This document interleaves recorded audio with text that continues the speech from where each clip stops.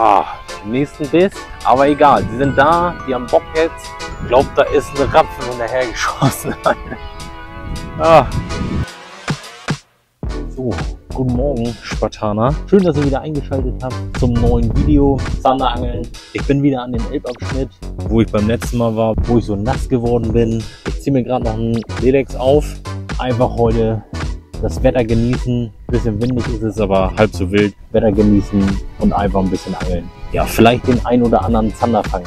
Letztendlich haben wir immer mal vor, ein Catch-and-Cook-Video zu machen. Ja, und dazu benötigt man ja auch mal einen Fisch. Ähm, aber seitdem wir, immer wenn wir das anmoderiert haben, wie auch immer, hat es irgendwie nicht so geklappt. Wir hatten viel Glück mit Live-Bissen und tollen Fischen, die Taktik ging auf, aber sobald wir dieses Catch and Cook erwähnt haben, hat das nicht so geklappt. Deswegen gucken wir einfach mal heute, was passiert. Einfach ein bisschen angeln. Ja, Traumvorstellung ist so ein bisschen, dass ich alle Spartaner einmal durchfische. Die Tide ist ganz gut, also wir sind im Tide-Bereich der Elbe. Und dann würde ich sagen, bleibt einfach dran und wir gucken, was passiert. Lelex 15 Gramm und jetzt kann es losgehen.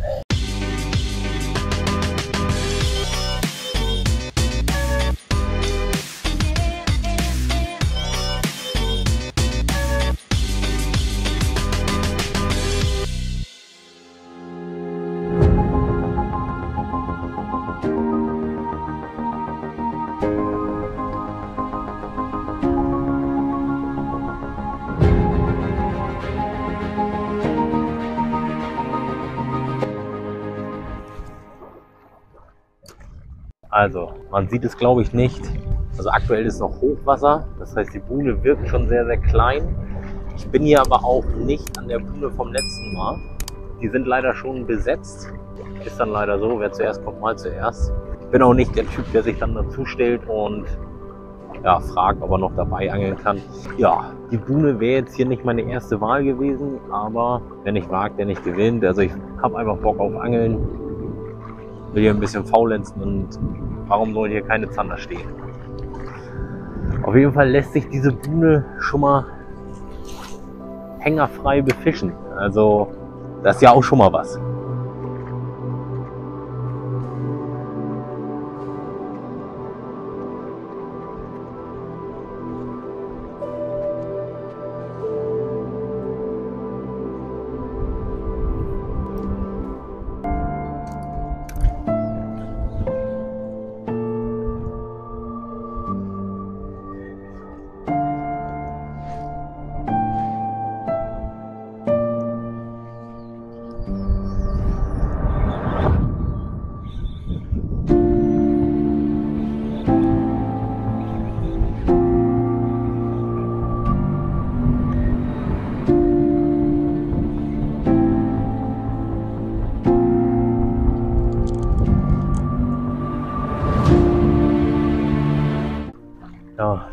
Vielleicht kann ich euch ja noch mal ein bisschen was zur Köderführung beim Wind erzählen. Als allererstes, wenn möglich, müsst ihr euch immer so drehen, dass oder so fischen, dass der Wind von vorne kommt. Seitenwind ist einfach tödlich. Und dann macht ihr nach dem Auswurf, ähm, bringt ihr sofort die Rute runter, Rutenspitze, dass die ganze Sehne auf dem Wasser ist und gar nicht erst vom Wind hin und her geschossen wird und euch den Schnurbogen reinhaut. Und dann merkt ihr sofort den Grundkontakt und sobald ihr den ersten Grundkontakt spürt, fangt ihr an mit dem Faulenzen und dann habt ihr so wenig wie möglich Schnurbogen drin. Ja, ist einfach wichtig. Wenn, wenn ihr eine vernünftige Köderführung haben wollt, dann müsst ihr zusehen, dass, dass der Wind gar nicht erst eure Schnur ergreift. Weil wenn erstmal bisschen Schnur im Wind rumflattert, das kriegt ihr schwer raus. Und ähm, ihr werdet wahrscheinlich, werdet ihr die Bisse noch spüren, aber durch diesen Bogen, Schnurbogen, ist es einfach zeitversetzt, was ihr merkt vom Biss. Und dementsprechend hat der Zander dann wahrscheinlich schon wieder losgelassen und ihr könnt den Haken nicht richtig setzen. Wenn es nicht anders möglich ist und ihr nur mit Seitenwind angeln könnt, dann wird es echt tricky und das ist schwer. Auf jeden Fall wichtig, ruhig auch ein paar Meter einkurbeln, wenn der Köder auf die Wasseroberfläche trifft, dass die Schnur schön stramm ist und nichts mit dem Wind zu tun hat. Und wenn ihr dann den richtigen Bleikopf habt, also das richtige Gewicht, Dann könnt ihr auch die Route, wenn er, der Köder auf dem Grund ist, dann wieder hochnehmen und faulenzen. Also dann drückt der Wind jetzt ein bisschen von vorne gegen, aber das kriegt man oftmals noch hin. Auf der Buhne ist es ein bisschen schwer, weil man einfach sagen muss, da hat man nicht viele Richtungen, wenn man am Gleithang angeln will, entlang der Strömungskante. Am Kanal zum Beispiel mache ich es oft so, ich wechsle einfach die Uferseite. Dann hat man beispielsweise, kann man den Gegenwind zum Rückenwind machen. Ist manchmal ganz hilfreich. Am See kann man das Boot drehen. Nur auf der Buhne ist man so ein bisschen eingeschränkt, was den Wind angeht. Aber es geht.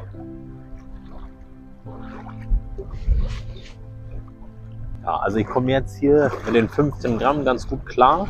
Absinkphase ist in Ordnung, Kontrolle auch. Was man auch machen kann, wenn es noch heftiger ist mit dem Wind und der vielleicht von der Seite kommt, kann man die Rutenspitze einfach ein bisschen tiefer halten. Je näher man sie Richtung Wasseroberfläche hält, desto weniger Spielraum hat der, hat der Wind mit der Sehne. Nachteil ist natürlich, dass je tiefer ihr die Rutenspitze haltet, desto geringer ist eure Absinkphase oder desto niedriger startet der Gummifisch an.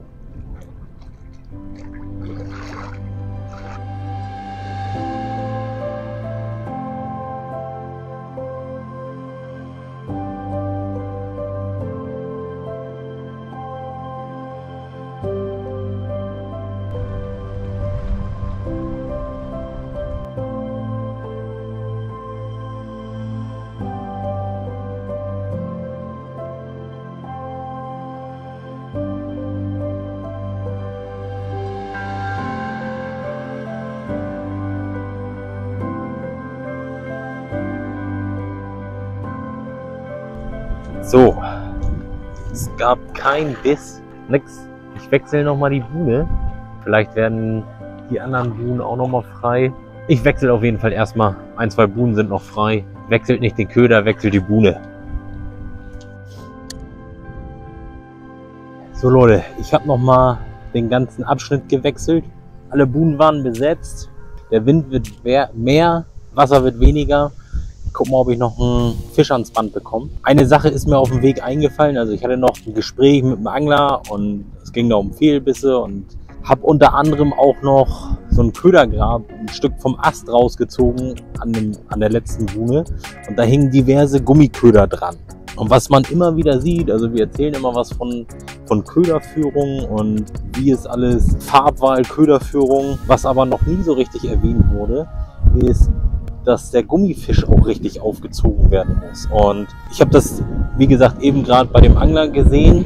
Ähm, der hat viele Fehlbisse beklagt oder viele Bisse beklagt und konnte irgendwie wenig verwerten. Ähm, ist dann immer schwer da nicht als Klugscheißer dazustehen, mit Tipps zu Rat und Tat zur Seite zu stehen. Wie auch immer, wichtig ist beim Gummifisch, wenn ihr den aufzieht, dass er A gerade aufgezogen ist und B dass der wirklich, dass hier, hier zwischen Gummifisch und Haken, dass da mindestens ein Finger drunter passt, also zwischenpasst. Das muss richtig viel Platz sein, dass der Haken einfach vernünftig greift, wenn ihr dann Biss bekommt. Oftmals sieht man das, ich will den jetzt nicht umbauen hier und so zeigen, wie es nicht geht, aber wenn dieser Platz hier nicht ausreichend ist, dann äh, kriegt ihr Bisse ohne Ende vielleicht und könnt die beste Köderführung und den besten Köder haben, aber ihr verwertet die Bisse nicht, weil der Haken einfach zu wenig Platz hat, um im Zandermaul zu greifen.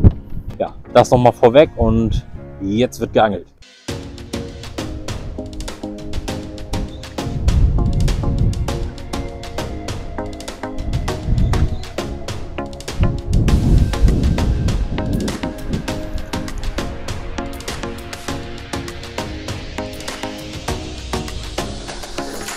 So Leute, der Wind macht es nicht leichter.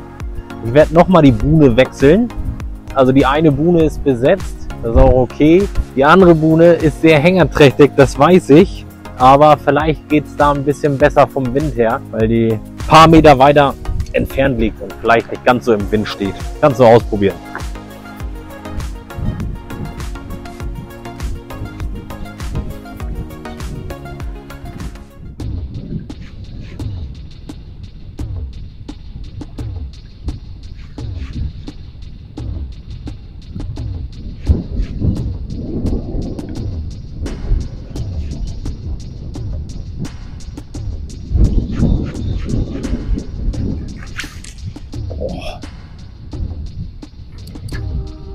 Glaube, da ist ein Rapfen hinterhergeschossen. ah, ich habe mich erschrocken. Scheiße.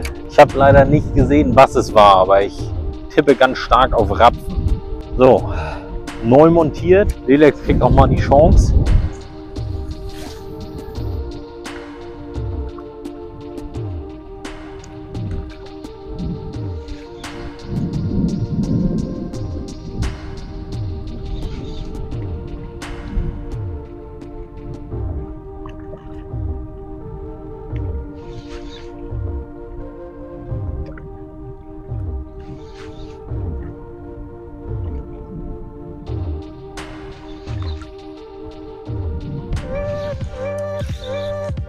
Da habe ich ihn.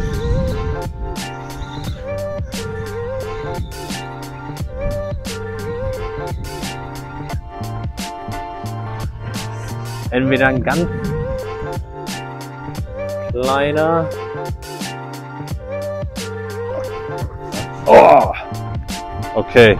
Leute, der war ein bisschen kleiner. Ja, ist jetzt hier vor den Füßen ausgeschlitzt. Mal gucken.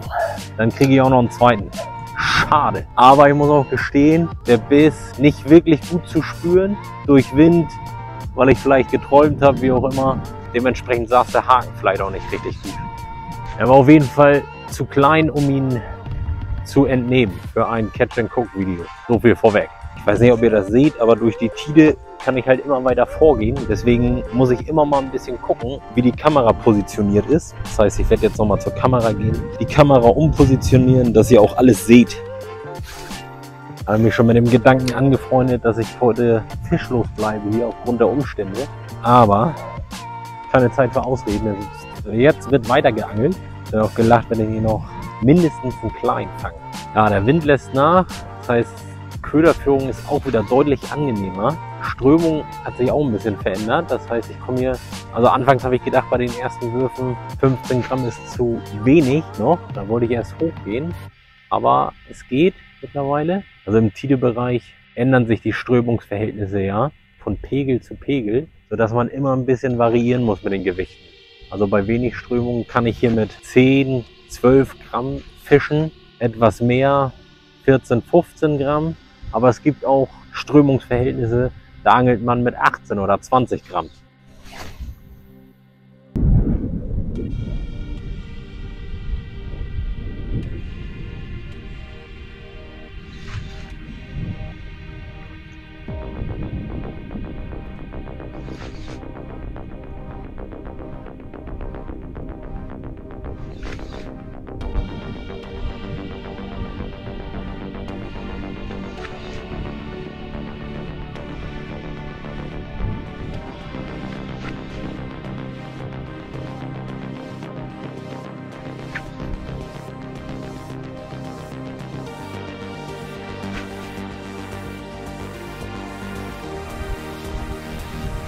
Ah, nächsten Biss.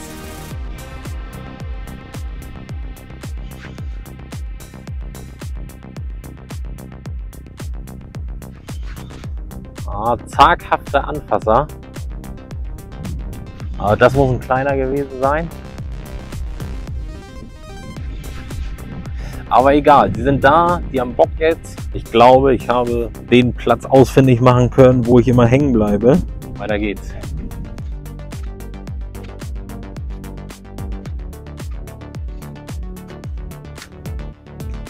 Ja, vielleicht kann ich noch mal kurz ein, zwei Sätze zur Tide-Elbe verlieren. Ich weiß nicht, ob mich manche jetzt vielleicht hier steinigen wollen, aber ich behaupte einfach mal die Durchschnittsgröße, was man auch eben gerade an dem Biss eventuell gemerkt haben könnte, ähm, die Durchschnittsgröße ist eher kleiner.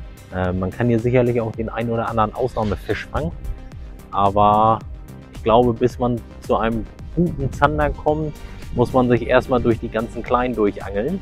Nichtsdestotrotz, auf jeden Fall gibt es hier Tage, wo man richtig gute Frequenzen erreichen kann. Also gerade wer das Zanderangeln gerade für sich entdeckt hat, irgendwie mal üben möchte und an ein Gewässer fahren will, wo man relativ schnell Chancen auf den Biss hat, ist mit der Tide-Elbe wirklich gut beraten.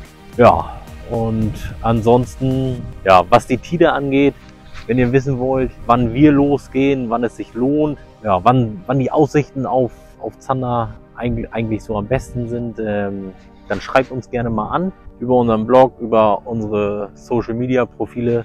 Dann verraten wir euch gern, zu welchen Titelständen wir losgehen. So, Sportsfreunde, ein windiger Angeltag geht zu Ende. Ich fand mich gar nicht so schlecht.